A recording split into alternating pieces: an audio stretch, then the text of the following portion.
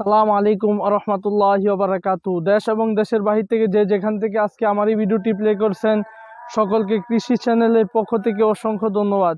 বরাবরের মতো আবারও চলে আসলাম নতুন এক ডেঙ্গা ক্ষেতের মধ্যে, যাকে আমরা ডাটা ক্ষেত বলে আমরা বলে থাকি।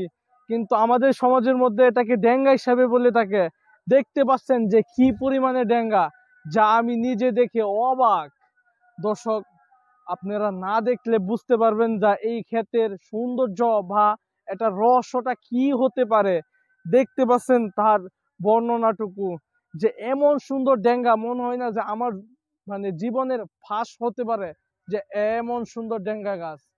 এবং আপনাদেরকে কি বলে আমি যে মানে আপনাদের কাছে যে কি বলব সেই বাসাটুকু আমার মুখে নাই। এবং এই ঢেঙ্গা ক্ষেতের মধ্যে কোনো প্রকার স্পট নাই।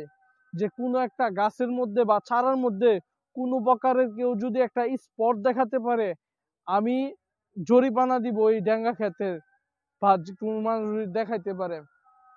এবং এটার গুণাবলী বলে কখনো শেষ করা যাবে না।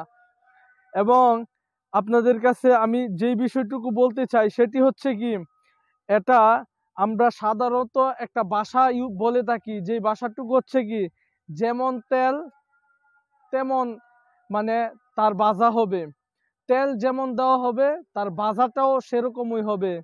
এই যে মালিক, সে এই ক্ষেতের মধ্যে ভীষণ পরিশ্রম করছে।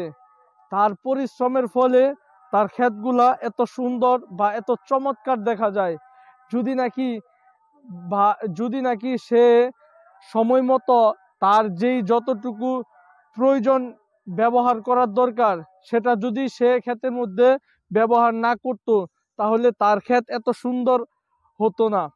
বাট আপনাদেরকে আরেকটি জিনিস আমি বলতে চাই, এখন যে একটি খরানের সময় অতিরিক্ত মাত্রায় গরম থাকার কারণে বা মেঘ না থাকার কারণে ক্ষেতের মধ্যে পানি না থাকতে থাকতে ক্ষেতগুলা শুকায় যাচ্ছে। এবং এই যে মালিক, দেখা যাচ্ছে ক্ষেতের মধ্যে পানি নিয়ে দিছে। এবং এটা নেওয়ার কারণে খেতার যে একটা উপকার হয়েছে তা বলে আপনাদেরকে কখনো কখনো শেষ করা যাবে না।